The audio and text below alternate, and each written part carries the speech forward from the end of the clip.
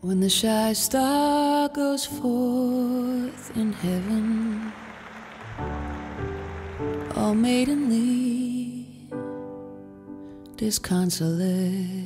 Really mind blowing to think that he could have taken um, these Joycean works and somehow uh, integrated so many different styles and so many different singers and musicians and feels so that you really kind of go on this journey and it's very imaginative and it's really, really nice. I love it.